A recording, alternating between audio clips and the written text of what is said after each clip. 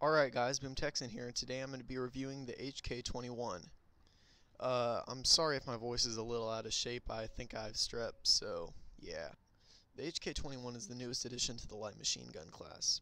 It's heavy, it's bulky, and it has 100 rounds that you can shoot off before reloading and 300 total possible rounds that you can shoot. It is belt fed, so that means that you can't just fire willy-nilly and expect to reload in a couple of seconds.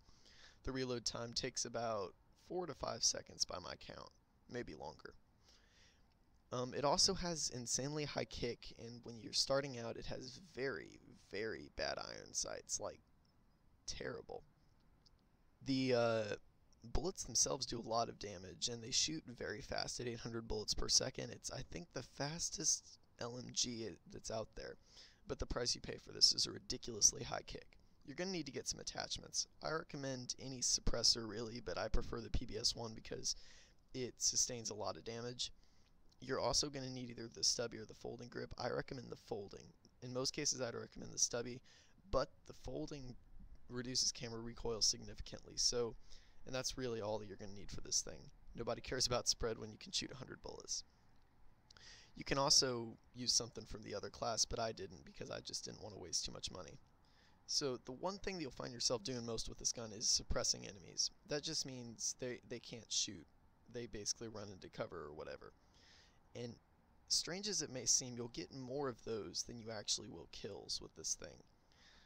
Because it's high rate of inaccuracy and you just about can't see anything. I mean, with the bullets flying willy-nilly, you're going to suppress somebody. And it can also wallbang, so I mean, you do have the potential to be that guy who rushes in first and gets everybody out of the building. I would recommend getting a sight before you use this thing, or else it's just going to do horribly. You won't be able to see a thing. Another thing is you're going to have to have an accurate secondary. That's just all there is to it. You may also want to have a long-reaching melee because, or a melee that you can run fast with or something.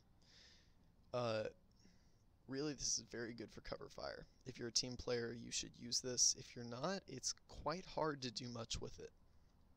It's one of those guns that you have to really work to get good at.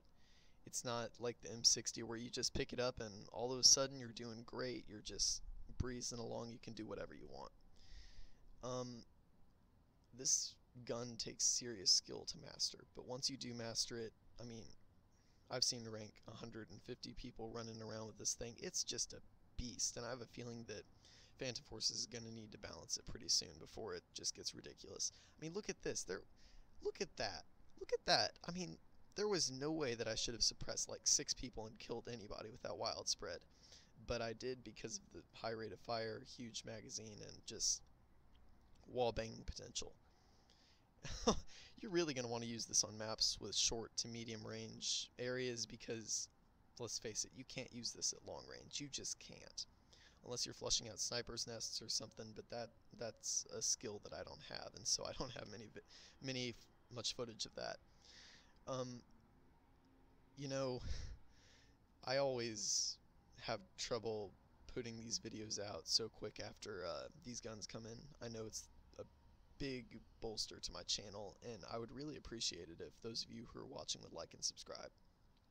It's difficult to put a video out the first day or two after you record it with all the voice editing and ca video capturing and all that stuff. Um, I, I hope that you would like and subscribe this, and please keep with my channel for more Phantom Forces related content. Bye, and thanks for watching.